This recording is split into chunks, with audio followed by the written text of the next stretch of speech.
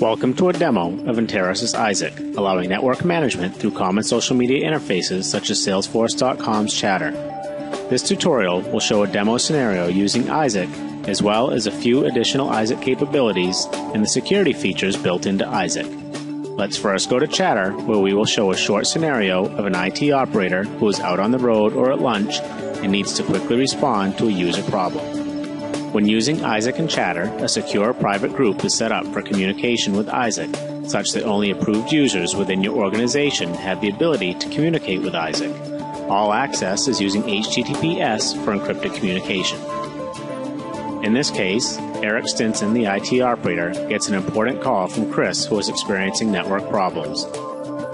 Eric hangs up with Chris and uses his smartphone to access Chatter to troubleshoot the problem. He will first chat to the private Isaac group to find Chris on the network by simply typing find Chris and sharing the chat. Isaac will chat the results in a series of chats to Eric Stinson, our IT operator, in the private group. Let's look at the first messages. The initial message shows Chris's location through the SSID, his MAC address, his IP address, protocol used, the AP he is connected through, and the controller he is connected through. This gives the critical information to do further troubleshooting if necessary. In addition, Isaac has chatted two graphs with additional troubleshooting information. One is for the AP bandwidth over the last 24 hours, and the other for the controller bandwidth over the last 24 hours. Finally, in response to Eric's Find Chris command, Isaac has chatted both a regional map and a local map showing Chris's location. These are particularly useful for dispatching technicians to solve a problem especially in larger companies.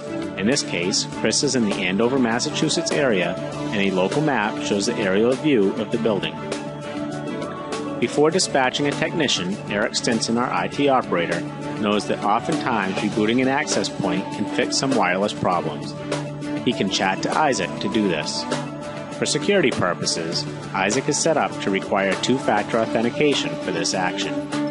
First, Eric chats to request a PIN. In response, Isaac sends a one time use PIN back to Eric either via SMS message or email. In this case, we're using email. Let's open Eric's email and retrieve the PIN. Next, Eric chats the AP reboot command and uses the one time use PIN. Looking back in Isaac's chats, we will see the AP disconnects, then reboots, which takes a few minutes. Now let's look at a few more features of Isaac. One example is interface errors. Let's chat the command, then hit refresh and see that Isaac chatted back with the top 10 interfaces with the most errors.